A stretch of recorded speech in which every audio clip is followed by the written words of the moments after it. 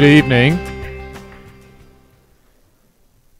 My name is Ronnie Green, and I have the pleasure of serving as the Vice Chancellor of the Institute of Ag and Natural Resources here at the University of Nebraska. And welcome to East Campus and to Hardin Hall this evening. We do have an overflow capacity crowd here in the auditorium, as you can see. Um, and just so everyone knows, there are overflow rooms both in this building as well as in the Quilt Center directly across the street, where there are about this many people um, there as well. So we're we're very very gratified to have a wonderful crowd tonight, and thank you for being here for this lecture. The Heuermann Lectures uh, is an event that we started here at INR last year. This is our second academic year where we have brought world authorities dealing with food security, water security, natural resource security uh, to our campus. These are the key issues that we see ourselves charged with at the Institute, and the Heuermann Lectures have enabled us to bring people to our campus for our students, for our stakeholders, for our faculty and staff, and the greater community to engage in these discussions with us as we think about feeding a growing world the next 40 years ahead of us.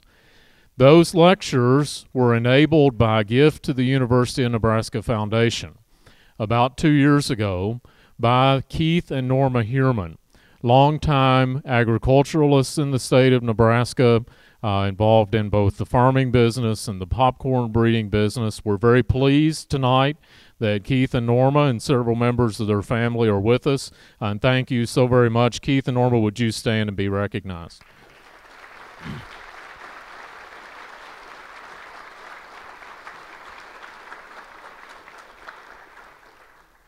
We also uh, want to refer uh, you to the fact that these lectures are archived. So all of our previous speakers who have come to campus in the Heuermann Lectures last year and throughout this year are archived at heuermannlectures.unl.edu, so you can go there and see those, as well as they're taped for distribution on Nebraska Educational Television. And some of you may have seen some of the previous lectures uh, in that venue. We're web streaming these lectures tonight. Uh, so that you'll see cameras um, doing that for us so others can join us in that and for the uh, archiving as well. We are very pleased tonight to welcome to the University of Nebraska Dr. Temple Grandin. Temple is a longtime friend of mine. I'm an animal scientist by trade myself uh, and have had the pleasure of growing up in the beef industry and working around the beef industry throughout my own career and had the pleasure of serving on the faculty at Colorado State earlier in my career with Dr. Grandin and be able to do research work uh, with her. She's truly an amazing person. I know many of you will know much about her story as a high functioning autistic person who wasn't able to speak at the age of two and yet has used that experience and her own uh, capacity to think about how to improve animal care how to build new animal handling systems uh, that improve the stewardship of our livestock in animal agriculture.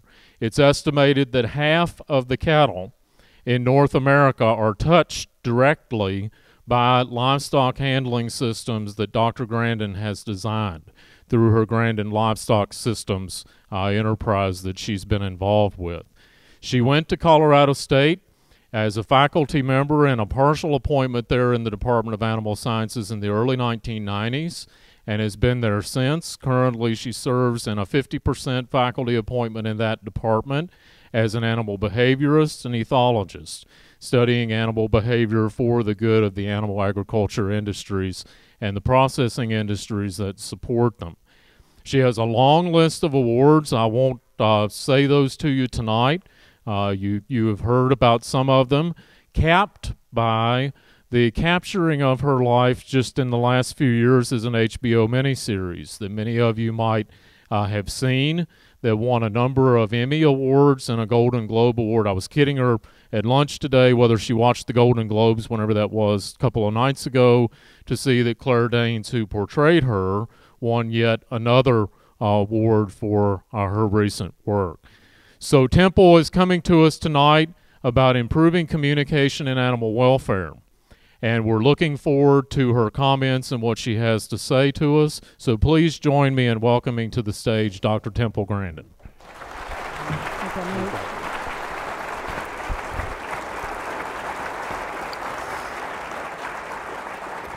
That's really, um, really great to be here. Can everybody hear me on this mic okay? Want to make sure you can hear me. And um, I've been working in animal handling ever since the early 70s. And things have really improved in animal handling. In the 70s and the 80s, cattle handling was terrible, absolutely terrible. Electric prods on every single cattle, ramming them against chutes and everything else. That is one of the things that's really gotten a lot better. It's gotten a lot better in terms of equipment, but it's also gotten a lot better in terms of management. One of the things I've learned is people want the thing more than they want the management. Because even back in the 70s, I was uh, selling people, you know, really nice systems. I was putting them in. And I'd get this nice system all started up, and only half my clients would operate it correctly today. Okay, now today, most people are. You know, the National Cattlemen's Beef Association has really promoted you know, beef quality assurance, the importance of low stress handling. That is the real big bright spot in animal welfare. And one of the things that frustrates me is we've improved a lot of these things and nobody knows about it. And this gets into communicating with the public.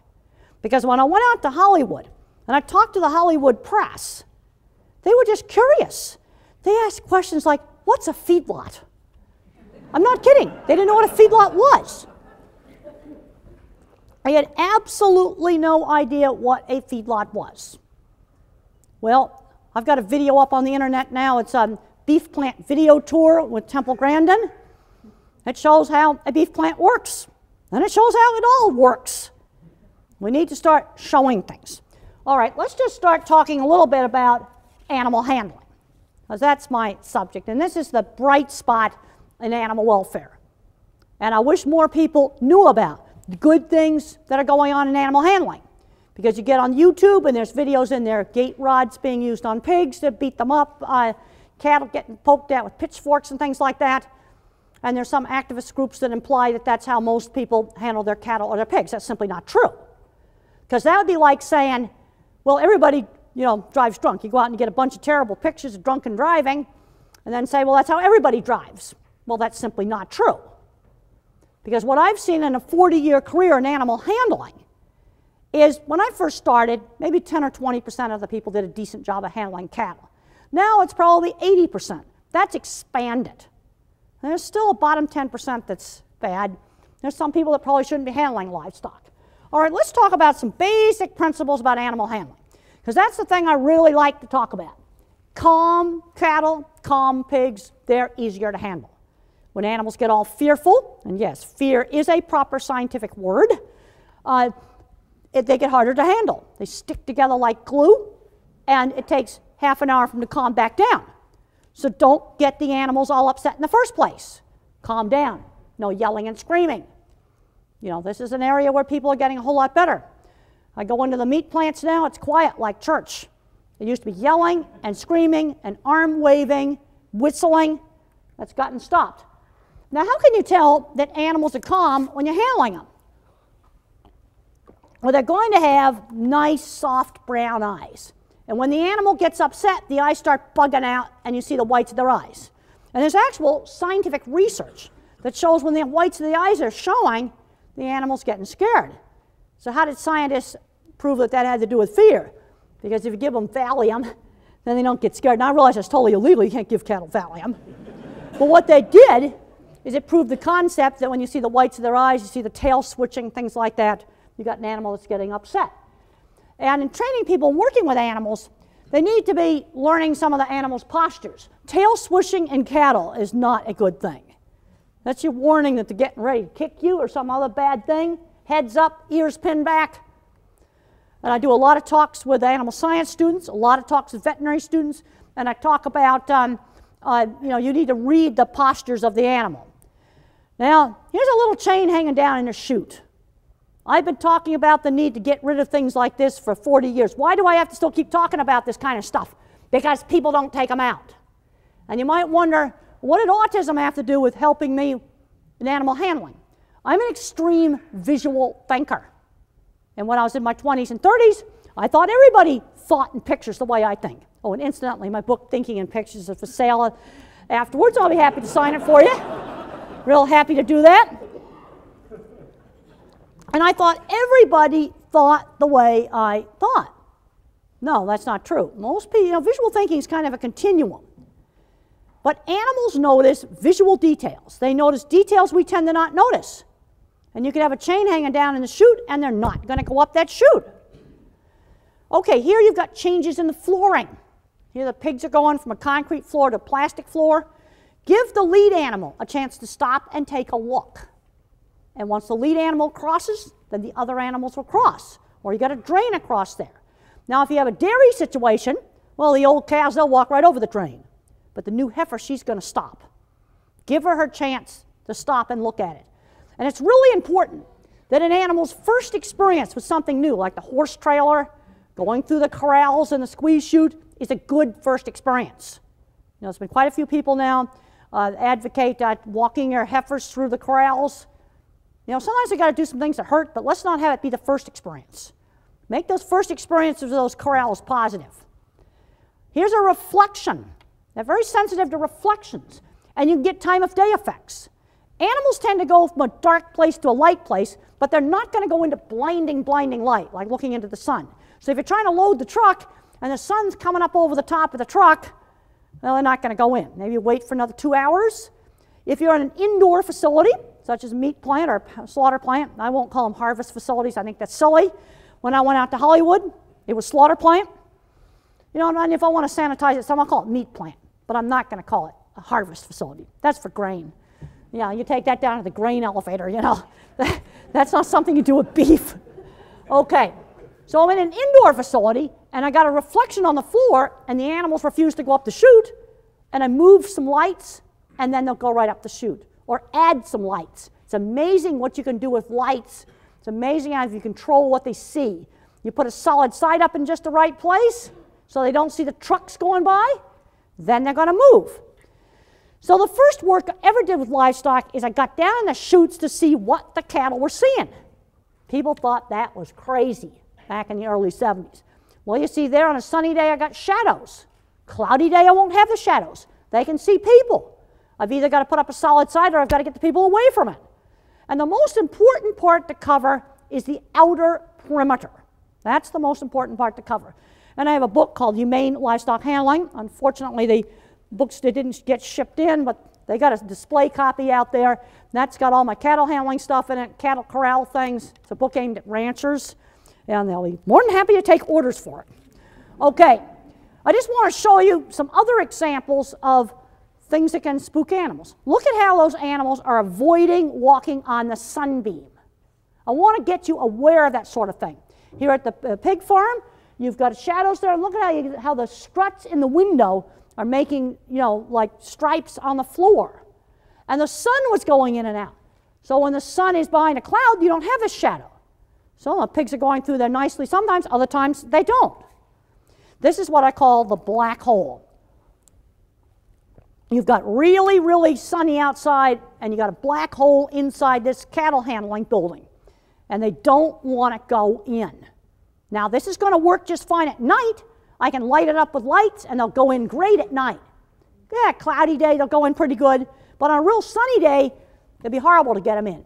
So what I got to do is I got to open up the walls. I got to get daylight into this building. Because, yeah, I can put some lights in there, but the problem is the sun's 100 times brighter than any reasonable light I can buy. So I got to get tin off. That's what I got to do. I got to get it so that as the animals come in, they can see through the building. And then replace some of that tin with white translucent skylights. And I like translucent because I don't want to have the shadows. I want to get in lots of daylight without shadows. And when you're building new facilities, put white translucent panels in the ceiling. Now you'll notice right there on this particular facility, you got a solid crowd gate. That's really important. Crowd gate needs to be solid so they don't shove it back in your face. Now, I always get asked, are the cattle scared of getting slaughtered? I always get asked that. And this is something I had to answer very early in my career. So I went over to the local Swift plant in Arizona. And in the movie, they renamed it Abbott because, you know, still Swift name still exists and trying to get permission. That takes an act of Congress. So, um, you know, we just make a fake name up. And then the places that no longer existed, like Scottsdale Feed Yard, you know, bad old Scottsdale Feed, feed Yard, you could use the real name. That was uh, torn down 25 years ago. And so I go over to Swift over in Tolleson, and I found the cattle behaved the same way at the Swift plant as they behaved at the feed yard going up the veterinary chute in the chute for implanting and all that kind of stuff. Well, if they knew they were going to get slaughtered, they'd be much, much wilder at the plant, but that wasn't the case. Actually, they usually behaved better at the plant. Interesting enough, the handling in the plants in the 70s, a lot of them was quite good. It was in the 80s and early 90s that things got messy. But the thing is, the slaughter plants have really gotten good today, really good. But if you look at some of the stuff on the internet, you'd think they were, they were terrible. Well, you know, you know, things have improved and people don't know about it. And I find that incredibly frustrating. All right, now looking at this picture, what are some things in this picture, looking at it from a cattle handling standpoint, that are good or bad? One thing that's good is as the animals look into this tunnel, we got the white translucent panels. And then I'll ask my students to critique this slide, and they'll say, well, the chain's hanging down. But I find about half the students fail to see the three guys standing where they should not be standing. You got three people standing where they should not be standing. Sometimes the most obvious is the least obvious. And we need visual thinkers in the world. And we need visual thinkers on the design team. Because when I found out why the Fukushima nuclear power plant blew up, I couldn't believe it. They made a mistake no visual thinker would make. They put the emergency generators for the emergency cooling pump in a non-waterproof basement. So what do you think happened to those diesels when they went underwater? They like they don't work. Now this shows some of my curved facilities. Cattle have a natural behavior to want to go back to where they come from. Well, you want to use that principle in handling facilities. You want to lay out tubs so they go around the full half circle. You know, laying things out right is important. I got lots of stuff on my website at grandin.com. It's just grandin.com, my last name. Lots and lots of uh, corral designs and things there. And this shows a round crowd pen made in a full half circle. So as you come on around the bend, they're going back to where they come from. And one of the most critical parts of the design is right where the single file joins the crowd pen. They, when they're standing there at that junction, he's got to be able to see up their two body lengths. If you bend it too sharply, it's not going to work. You've got to lay things out right. Detail of design is really, really important. And the most important part to make solid is your outer perimeter. So they don't see distractions like vehicles going by. People working with animals need to understand the flight zone. And flight zone's the animal's personal space. Now, if you have a show animal, that has no flight zone at all. You have an animal that's out in a mountain ranch in Colorado, uh, that can have a real big flight zone. So there's like three things that determine the flight zone. Amount of contact with people, quality of the contact, rough versus quiet, and genetic factors. The more flighty animals tend to have a bigger flight zone. People need to understand how the flight zone works. And when you invade the flight zone in a confined area, you can get an animal turning back on you. Now, here's a handy dandy way to get an animal into the squeeze chute without having to use the electric prod. So, what do, how do I feel about electric prodders? Get them out of your hand. You know what most of the big plants are doing now? They got one battery operated electric prodder at the entrance to the restrainer system. All the other electric prods, they got rid of them. So my view on electric prods is if you have an animal that won't go in the squeeze chute, you pick it up, you use it once, and then put it away, but get it out of your hand. Now what you do here is you walk back past the point of balance. Okay, here at the shoulder of the animal, now a point of balance. And when you're behind the point of balance, they go forward. When you're right up close to them in the chute, the point of balance is right at the shoulder. So if I, let's imagine this is a squeeze chute, and I got the cattle lined up here, and I kind of just walk back by them kind of fast like that. And it's across the shoulder, they'll go forward. Seems counterintuitive, but it works. That's using behavior. I want to get people into the mindset of using behavior rather than force. And I also have a big Spanish section on uh. Right there, I'm demonstrating turning an animal with a little flag. People get way too aggressive with driving aids. Don't get in there waving this all around, hitting animals and stuff with it. When they're calm, I can just put them down there and I can just turn the animal with it, nice and gently. Now, right here, going through the round crowd pen, notice it's filled only half full. Good handling is going to require more walking. Taking smaller groups, you've got to have to walk more. Same thing's true for pigs. Four to six market hogs at a time to load onto the truck. Small groups. Notice the crowd gate's not squished up really tight. Another principle is use following behavior. Wait until the single file's got some room in it. And then I can just bring the cattle in, keep them going, they're going back to where they come from, and they walk right up the chute. You want to use those behavioral principles, things like following behavior and the point of balance. Watch what I, your ears. What are the ears doing on horses and cattle? Look at how the zebra and the horse have an ear on each other and the other ear's on me. They look at things with their ears. Want to get you observing these things. When the animals are completely scared, you're not going to see these things, but when they're calmer, you will see this. And they'll put the ear right on the handler. Watch the handler. Here are some behavioral principles of restraint. I cannot emphasize the importance of non-slip flooring. In the things I've done in a lot of handling facilities, I'm amazed at the problems you can fix with a non-slip floor. And these woven rubber tire mats, they're absolutely wonderful for putting down in front of the squeeze chute. And then you want to make sure your animal's not doing this kind of jig slipping. Then the squeeze chute is just going like that and just getting more and more and more and more crazy. You know, you want to stop that foot from slipping like that. Sudden jerky motion scares. You know, make sure you don't, you, know, you don't need to squeeze them to death with a squeeze chute. You know, you just got to hold them. And when they're calm, they're so much easier to hold. The whole principle is I want a calm animal walking into that chute at the slaughter plant, walking into the squeeze chute. Now, I did one of the very first studies to show that animals that become agitated in squeeze chutes have lower gains.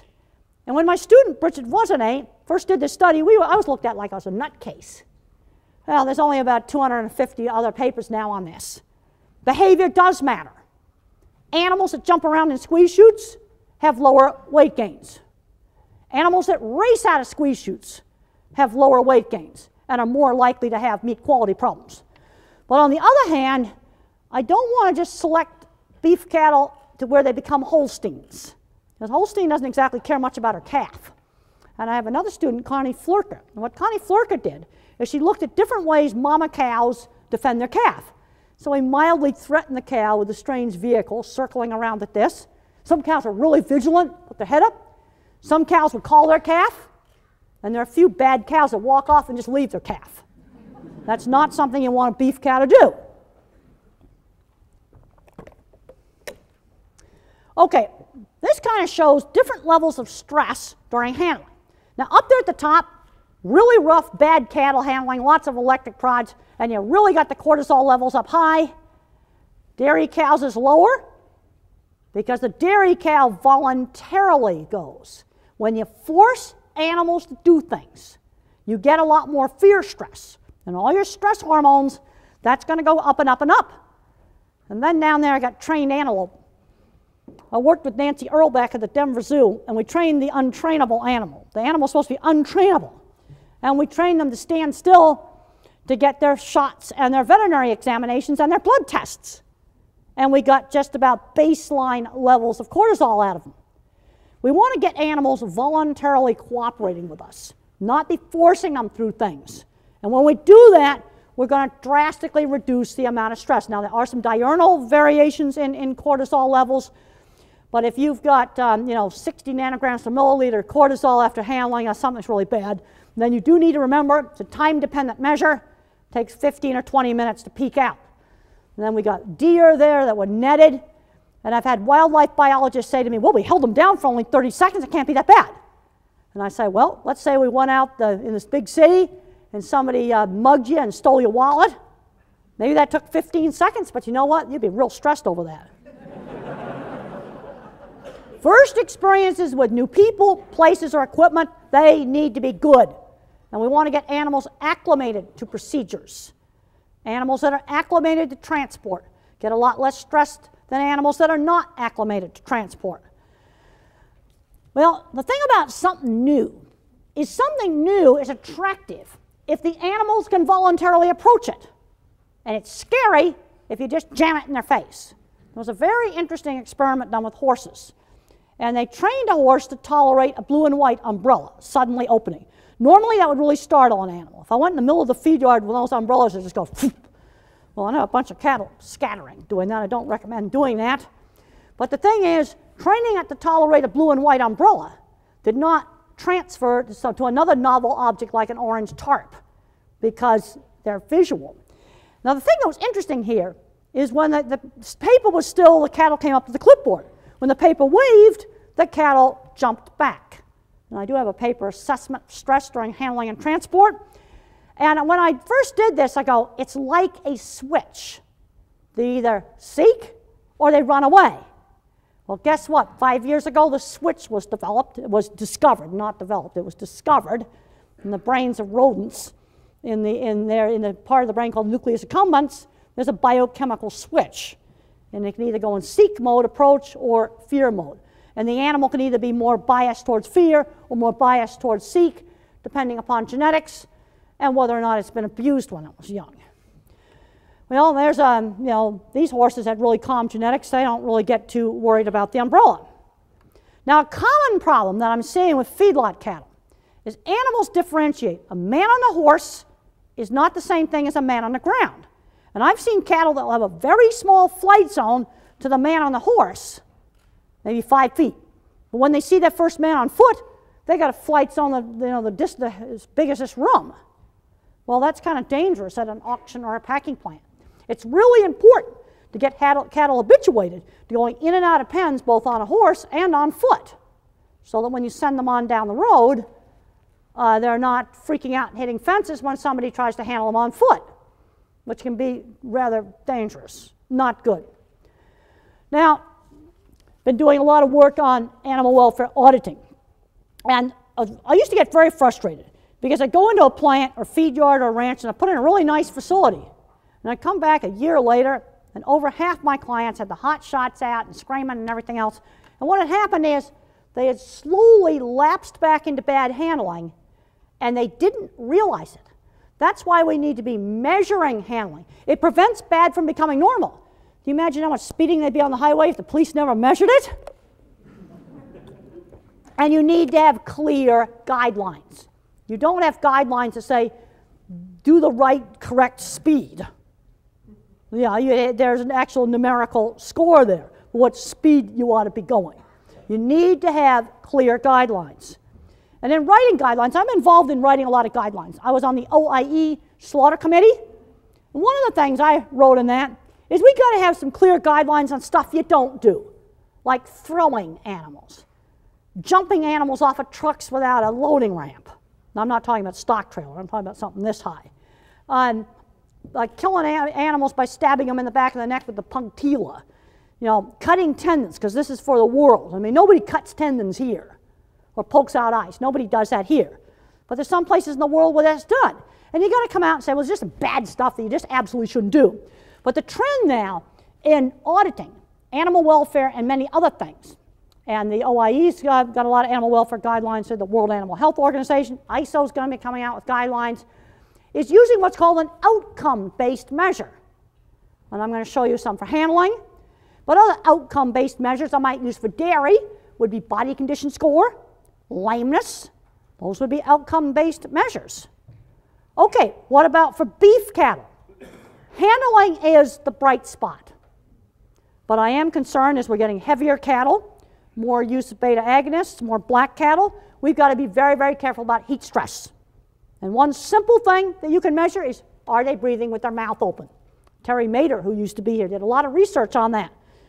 Um, if you're not careful with beta agonists, you can and get, the, get them to so they look like Arnold Schwarzenegger's arm, make their butt look like two of a bodybuilder's, uh, you know, biceps. You can get stiff cattle, lame cattle. That's not okay.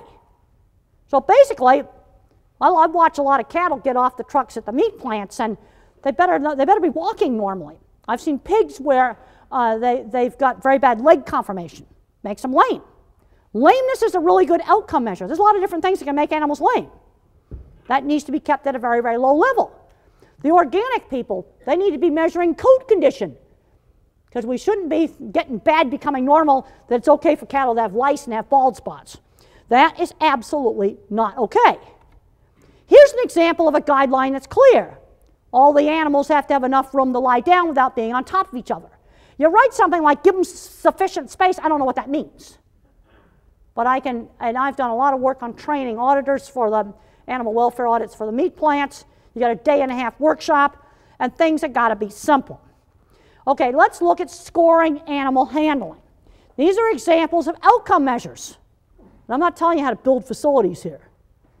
I'm telling you, you need to achieve certain outcomes. Yes, I design facilities. I'd be happy to do that.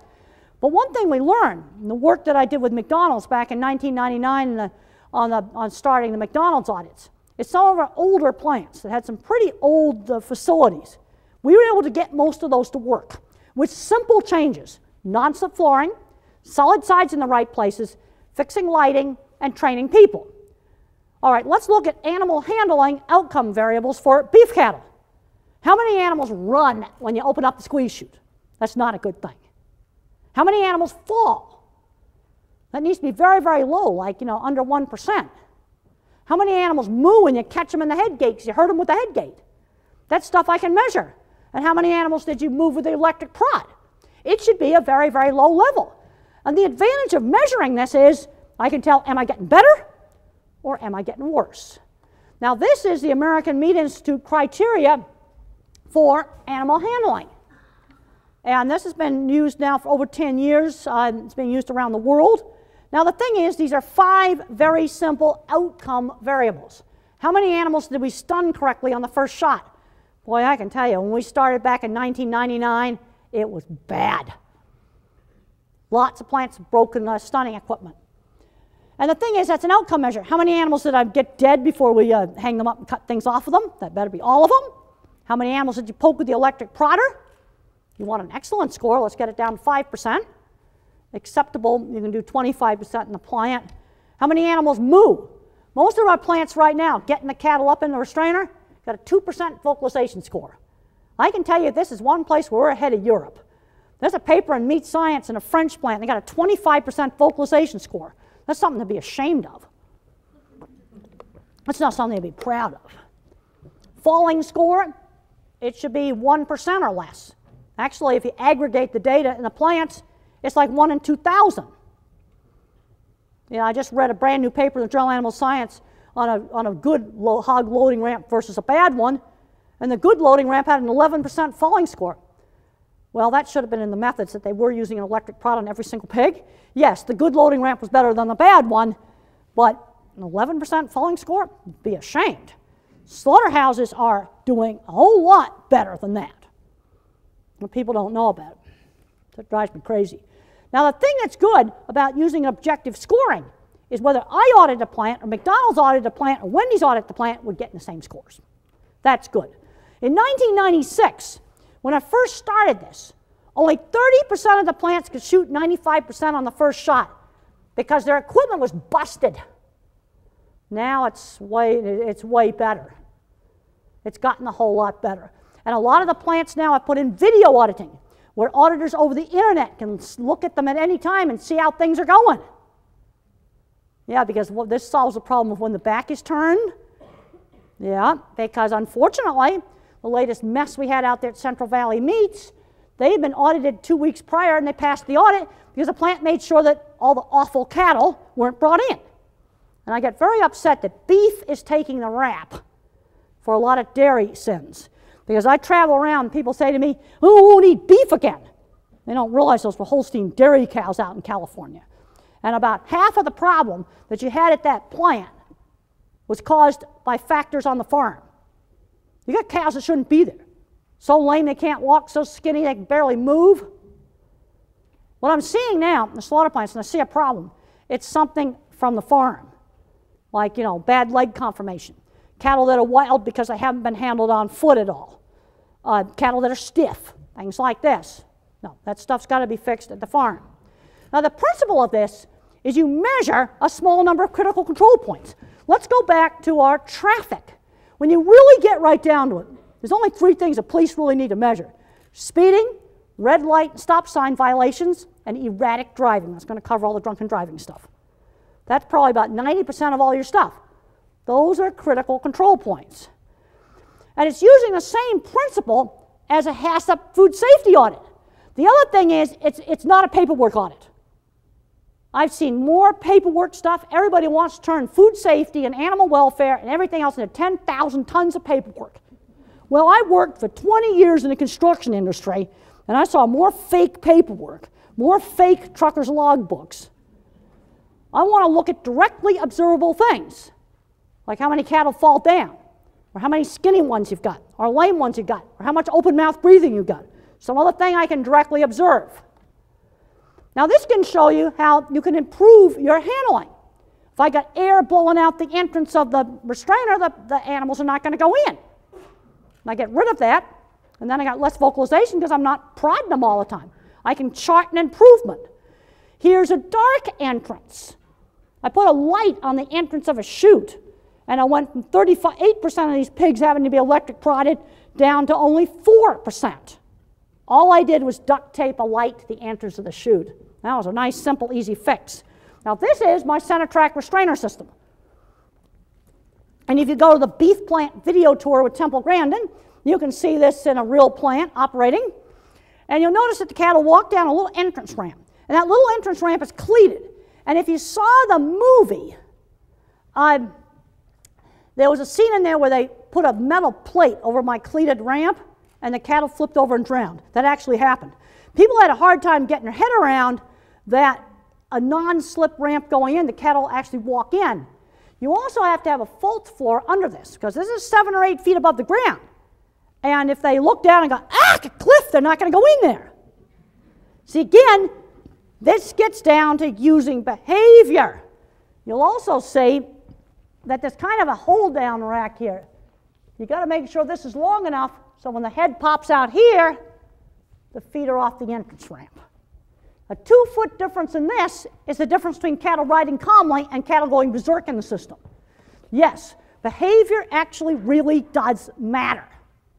And sometimes I can't believe how well it works.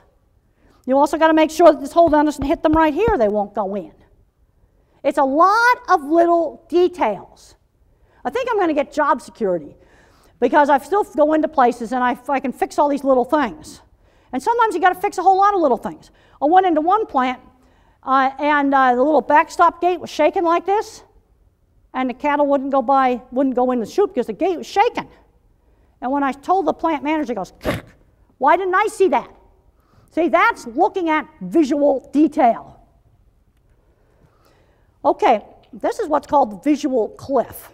Both animals and babies were not going to go out over a piece of glass where they see the drop off. It's a visual cliff effect.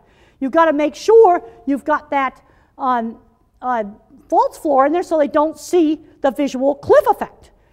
Okay, here are some other things I fixed. I installed a light on the restrainer entrance, and I went from 8% mooing and vocalizing down to 0%, one light. I put in a false floor. I went from 9% down to 0%. Why are people taking stuff off of this? I go in and they've taken the ramp off. They've taken the false floor out because they don't want to clean the extra metal. Well, they wouldn't be taking the drive unit off. Oh, 2012, I had two people um, cut the ramp off the restrainer entrance, we had to go put it back on. And these people weren't doing this to be bad. It's like they didn't see it. Now, reduced pressure on the neck, I went from 23% down to 0%. And there's just an example of a light on the entrance of the chute.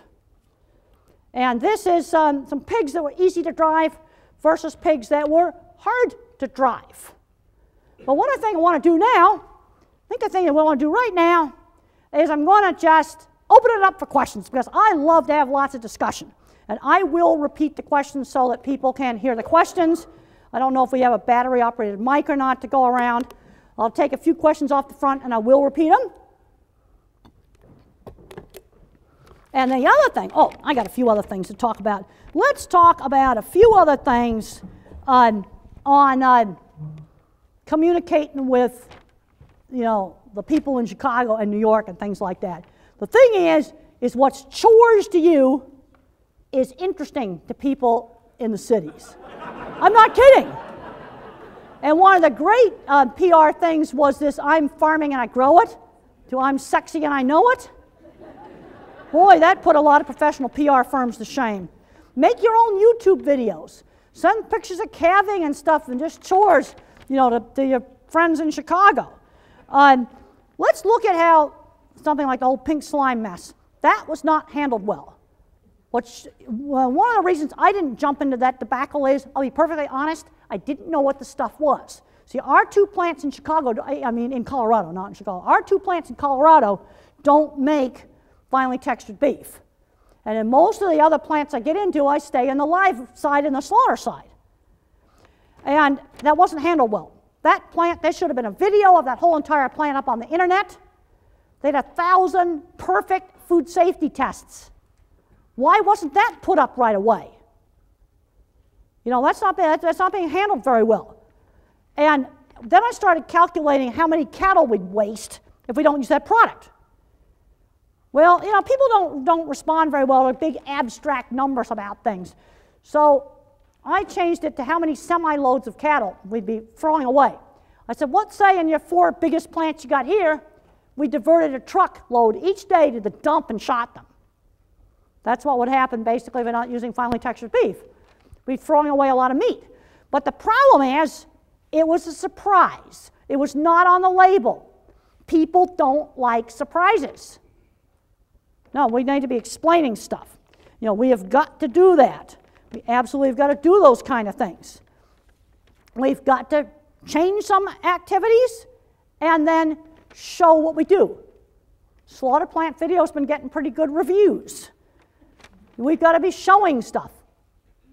And um, I've, been, I've, taken people on, uh, on uh, tours of slaughter plants for years, and they're kind of amazed at how quietly cattle walk up the chute. No, it's um, people who don't know where anything's made.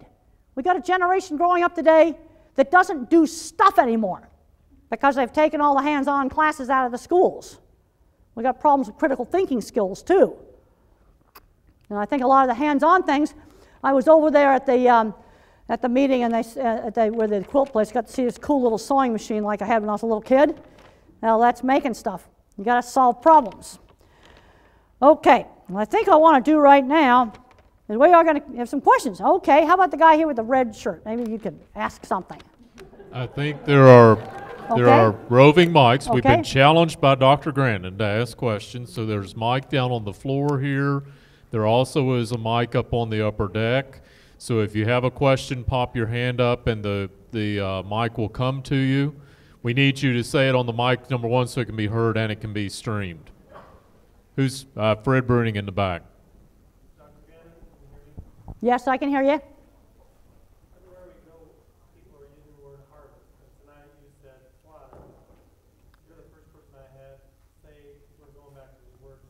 Well, when in Hollywood, the word slaughter was just fine. I used that word in Hollywood. Uh, if you want to clean it up a bit, how about processing plant or meat plant? You know what they call it in Australia? They call it the meat works. Think that, no, I'm serious, I think that's a pretty good word. On my video that I sell, I call it a meat plant. We could call it a processing plant. But I think harvest is just sort of um, sanitizing things a bit too much. No, when I talked to the Hollywood press, it was all slaughter. And you know what happened during the Hollywood press conference? They, all they wanted to ask was cattle questions. And the moderator had to cut it off because the director was there and they wanted to get some movie questions. and a Hollywood press, they wanted to find out how the slaughter plants worked. And they were just curious. They were just absolutely curious. You know, when we think everybody in Hollywood's a bunch of drunks, you know what they were doing at that Golden Globes party? Networking for the next job. They were not getting drunk, tell you that much. Who has the next question? Well, I'm in kind of a situation where I kind of go back and forth because with the autism stuff and a lot of my autism books, I'm going back and forth between the city world and the ag world. And uh, that's, that's a real interesting perspective. I think we have a question right up on the upper deck. Yeah, I have a question. Uh, so when you're branding cattle, what would be like a way to reduce um, them from like screaming and like moving around so much, like in the chute? What, we have brand- branding cattle? Yeah. Well, um, have a good squeeze chute to hold them. Uh, and I'm a big definite believer in having a complete squeeze chute where both sides squeeze in. Okay, if you're doing standing, I, I like where both sides squeeze in so your animal's not pushed off balance. Because on, on a, you, there's some squeezers just squeeze on one side. Now, if you adjust them right, they're all right. But if they're adjusted wrong, then you throw your animal off balance. And then it freaks out and panics because you're throwing it off balance. And uh, I mean, if you're going to brand cattle, you better have more than just a head gate on the end of an alley. Uh, uh, but I'm a big fan of having a complete squeeze chute. It's a lot safer for you and the cattle. Okay. Next question. There's a couple more up on the upper deck. Pop your hand up so the mic folks can can see you.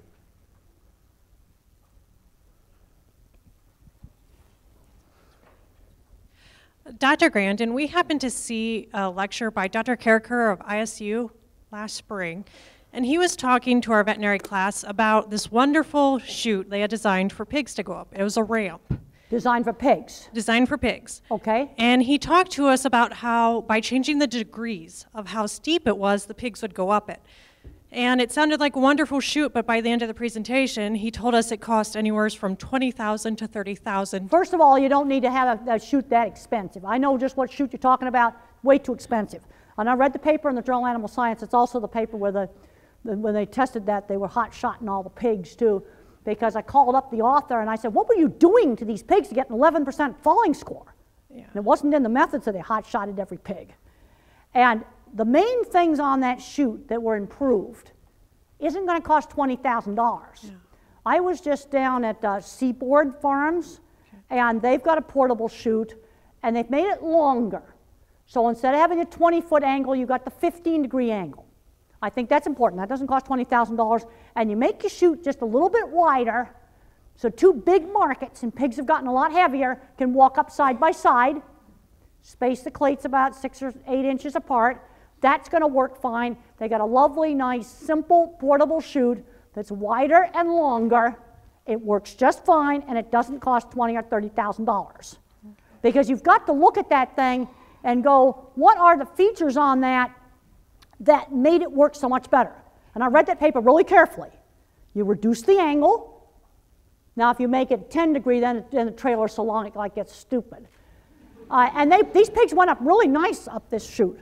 And you want to make it so two pigs can walk up there side by side and not jam. And then have really good non slip footing. And they just had bars welded to the floor. It worked great. So I guess my question is then, how are you going to sort between hyped up science like that and versus Sort between common what? sense? How are you going to sort between like hyped up stuff like that and just common sense then Between hype, for the industry? like that, Hyped up what now? I, like that chute she was talking about. well, I, I wouldn't, um, I don't think you need to buy something that expensive. I saw something a whole lot cheaper that I thought worked absolutely great. You know, one of the things you got to do is look at what are the features that made it better. And increased width and less angle are the two features that made it better. And the other thing that's really important is not to get the pigs so excited. Calm handling, four to six at a time, and they were doing that. But when I called up the author, he admitted they put a hot shot in the middle of every single pig. Because when I looked at the scores there, those scores were terrible, even for the good chute. 11% falling score, you should be ashamed. I watched pigs getting loaded out on this other cheaper chute. Uh, we, we did a half a truck while I was there they didn't have any fall. Because we were filming a pig handling video, and, and, and uh, you, can, you can achieve the same result with something that's not so expensive. But the other thing is don't get animals so excited. Because even with the old ramp that's 20 degrees, I have seen them handled where they're not falling, and it will work fairly decently. You've got to have a good non slip floor in it. I think there's another question right up here on the deck. Okay?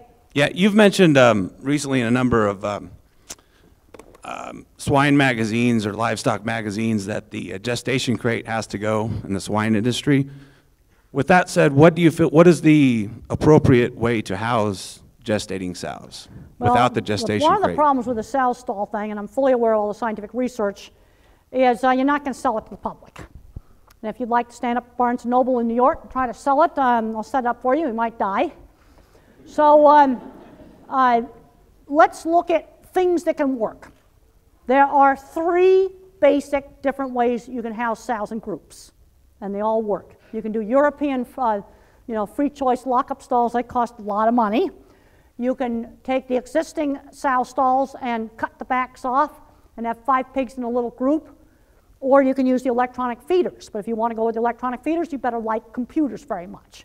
So it's kind of personal preference as to which one of those systems you use. They are going to take more space, anywhere from 10 to 30% more space. Okay, how do we deal with fighting? The first thing is genetics. I had a chance to go down and visit Smithfield, and uh, they had to change some of the sow genetics. See, the problem is in the late 80s, and I watched this happen, when the industry went into the lean line pigs, they accidentally bred a mean pig that fights a lot. Nobody did that deli- deliberately. It was kind of a mistake that happened. And you've got to get genetics that's not so mean, and other things you can do. I just read a brand new paper in the Journal of Animal Science uh, on uh, don't mix different parities. You know, don't take a first parity gilt and put it in with an old, big, huge mammoths that are on the fourth parity. You know, don't mix the parities. You know, there, there are some things that you can do, you know, to make it work, but you are going to have to change uh, genetics. The thing I think is very interesting on this, why is Smithfield changing it first? I think you need to look at a map of the United States and look at where corporate offices are located. And Smithfield's got corporate offices located right next to population centers. Guess what? There's going to be social mixing outside the box. And I think that has something to do with it. Yes, question right down here on the floor, Mary.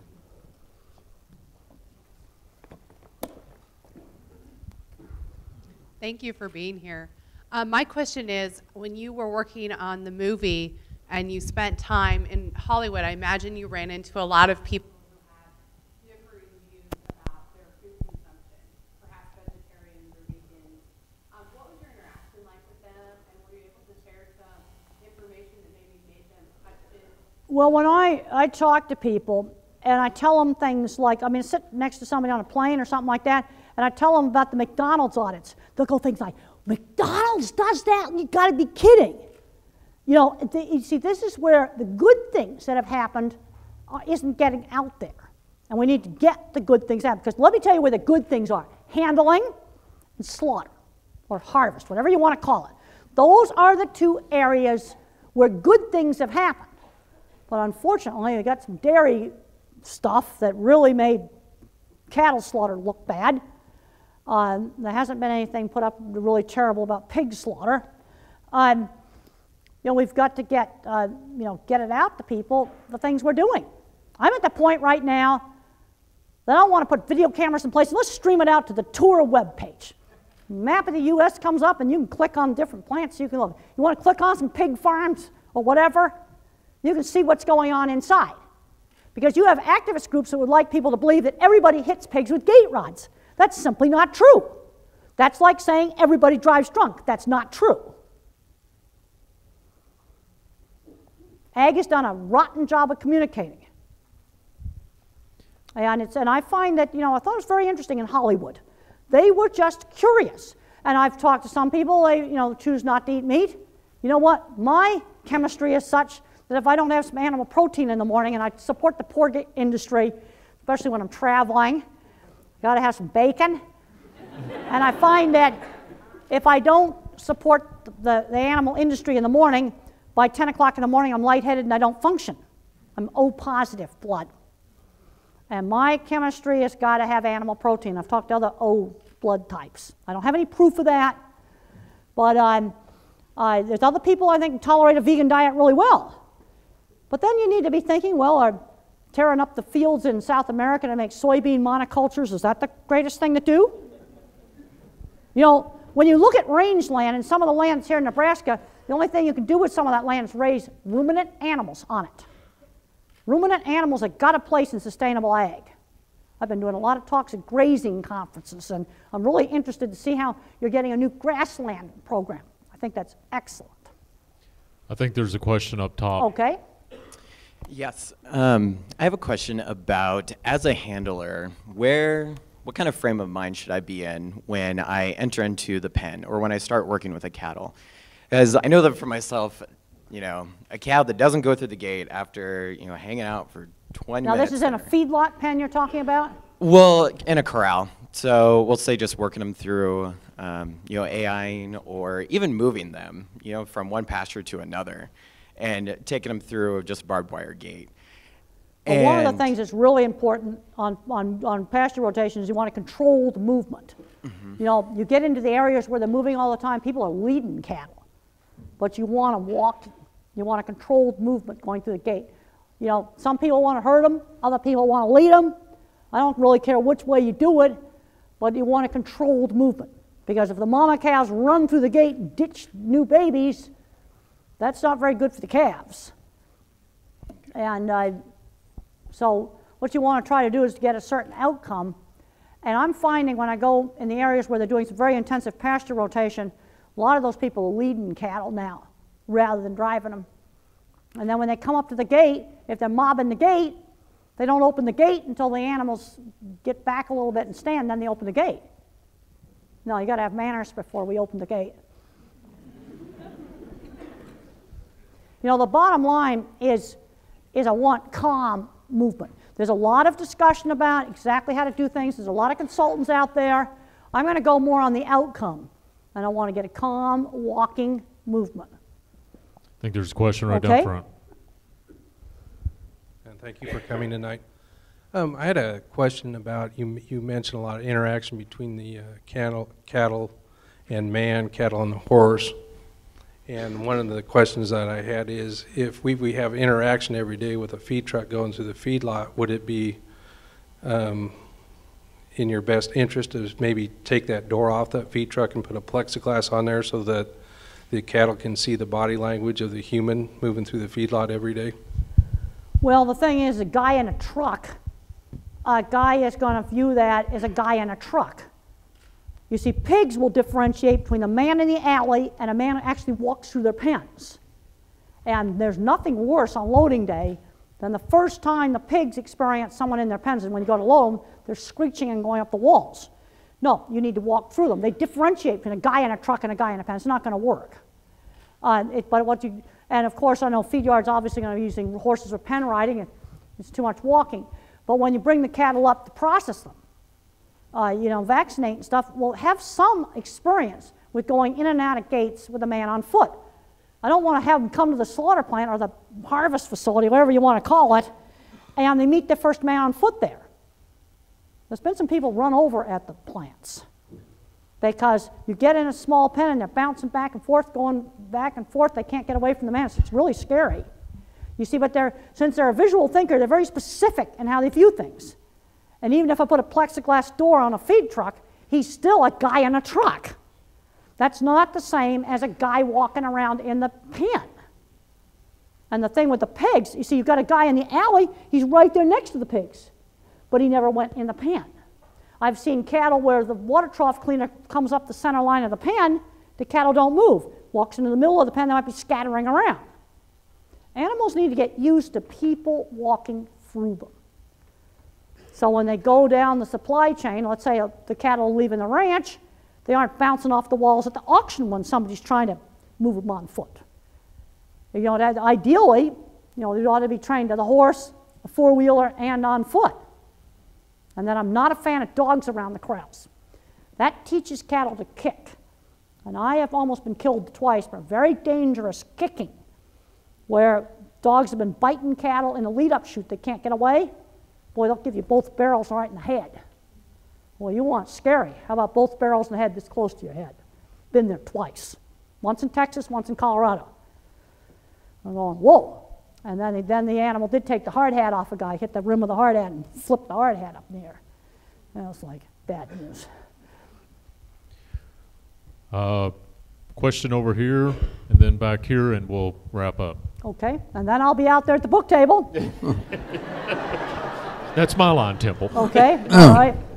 Ronnie, I was going to give her a whole new list of things to talk about here. Sorry to we're running out of time, but uh, have you noticed that Temple is hardly ever hard to get to say what she really wants to say? I have noticed that. yeah.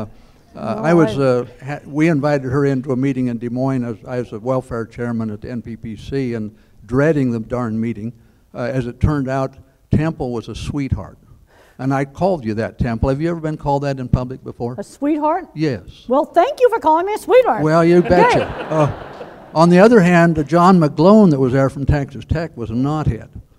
But he continually uh, tried to demonstrate how animals could be raised, not, wasn't necessarily appropriate or good, but options that could work. And this is where our industry on the swine side is going now. We're trying to do things that can work. Well, we've got to do stuff that we can, Yeah, that's I going to work. I- We've got to do things, reasonable things that are going to work. Now, in Spain, uh, just there last year, uh, you know, they agreed to animal welfare issues and how to, handling of sows and so forth. Uh, and the far off date, but uh, all of a sudden that date came. And there's an awfully lot of the small producers that had no money to convert their facilities to, con- to the group housing, and they're going out of business. Well, I think that one of the things in the group housing, you've got to give a long lead time. One, let's take Smithfield back east. That stuff was 30 years old and rusted out. You know, I think we got to give people time for equipment to wear out, and and uh, you know, and then you replace it when it's rusted out. I mean, I I would I'd be the first. person, I totally defend at least 10 year lead time. you know, Well- let things let stuff wear out. You know, the the whole idea of welfare started in the north of London with two meat markets that wanted to outdo each other, so they started promoting the concept of welfare-friendly animals. But uh, uh, anyway, we have a, a big PR problem ahead, and uh, I don't know how is, we're going to resolve it. I- the thing is, you got people out in Hollywood asking what feedlots are. I went down to um, our, our sister school, University of Colorado, and I had a, a, a, a undergraduate down there that said to me, "This is what she said to me: If meat is sold to Whole Foods, then the cattle are born on a ranch. If the meat goes from the regular supermarket, then the cattle are born in a feedlot." That was two years ago. I mean, this is the kind of, you know, they just don't know. Oh, and then you got people that you know, think eggs grow on trays or milk grows in the back of the grocery store. Uh, you know, that's just ridiculous. And now let's look at where there's been some bright spots on PR. Fair Oaks Farm, beautiful dairy outside of Illinois. They have bus tours come in there. They got the calving cam. They're building Pig Adventure. People can come in and look through a glass enclosed uh, swine confinement building and, and uh, see how pigs are raised. We've got to get rid of the mystery sheds, but we've got to do a better job. I just looked at a new publication that came out from NPPC talking about We Care, and out of all the pictures they had, it showed the outsides of farms, and only one picture inside the farm for sows and piglets. Why aren't they showing the insides of the barns? You know, we're going to have to show it. And if there's things where you're squirming, you know, and I know that castrating baby pigs isn't that wonderful. And uh, I hope the new Pfizer product's going to be successful. I've been a big proponent of that, because then maybe we won't have to castrate baby pigs. You know, I think we've got to look at everything we do and say, if I brought my wedding guests out here from New York or Chicago, what are they going to think? A well run slaughter plant passes the test. I have personally taken people on a lot of tours. And one of the things I do is I have them watch the trucks unload, and they're amazed how quiet the cattle come off. And then I have them watch them go up the chute, and they go, wow, they just walk right up the chute. That's the way it should be. That's what we got to do. Last question right here in the front. I mean, okay. We talked about how um, handling, handlers at the processing plant, handlers at the feed yard, and, um, and you did talk a little about the ranchers. And Now, feed yard handling's gotten a lot better, a lot better. Do you believe, to sum up everything, that it all needs to start with the ranchers when they are first calved and introducing the young um, calves with pins and, and handling equipment? Do you Yes, believe I that's think where, the that's where? ranchers need to be doing that. Okay. In fact, most of the people that are doing, you know, the low-stress cattle handling workshops emphasize walking out amongst your cows, getting them calmed down, taking young heifers that you're going to keep, walking them through the chutes, feeding them in the corrals, getting them used to uh, going through the facility. So that that first experience in that corral's not just, you know, getting smacked around in the squeeze chute. You know, you, yeah, we do have to put them in the squeeze chute, but just walking them through and getting them habituated. And there's quite a bit of research now that supports getting animals habituated to handling procedures. No, we need to be doing that. And, and, and ranch handling's gotten better. Cattle handling is the bright spot. And the thing that frustrates me is the public doesn't know about it. That's what frustrates me. I fixed the slaughter plants, the harvest facilities, whatever you want to call them, and the only ones up, the main ones up on the internet, it's all the awful stuff, half-dead dairy cows that shouldn't even be there. Well, that's why we did the Temple Grandin beef plant video, and we're now working on the Temple Grandin uh, pork plant video. Thank you. I have one last question I'm going to ask as the Okay. the moderator here, Temple. Uh, I mentioned that I've known known Temple a long time and have admired her as a fellow animal scientist. There are a lot of, of stories around about Temple and about how she chose to put herself in the place of the animal to better understand what the animal was experiencing. I think you referred to that uh, tonight in one of your slides. Give us a couple examples of ways that you did that. What are some places where you tried to experience Well, I did go through cattle dip that one time, and I don't recommend That's one of the that. legends. Yeah. I don't recommend that. And, um, but one thing I do recommend doing, watch when you're working a cattle, where do they stop? What are they looking at? What are they pointing their ears and eyes towards? If they're calm, they'll point their ears and eyes right towards something they might be afraid of. They'll show you the things in the chute they don't like. And I find lots of times you might have to track down four or five distractions. Like maybe you've got to fix the black hole effect. Then you got to get rid of the gate that jiggles. Then you got something that bumps them here and you got to change that. You may have to fix four or five little small things and then things are going to work a whole lot better. Be very observant of small visual detail. Handle small groups, use following behavior, and get your mouth shut. No whistling, no screaming. It's really, really stressful.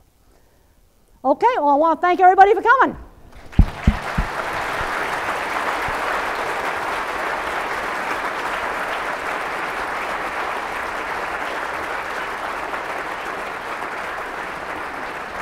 One of the traditions that we started with the Heuermann Lectures last year is to give each lecturer a medal to remember their time coming to the University of Nebraska that signifies the Heuermann Lectures.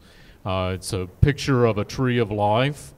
And Temple, we'd like to present you with your Heuermann Oh, Lecturer thank you. medal. So you'll remember coming, right. coming with us. Right, And we'll get a picture with the Heuermanns with that later. great. Temple is going to be outside uh, for book signing and for you to have a chance to visit with her out in the lobby. There'll be a reception out there on your way out. We'd ask you to join us.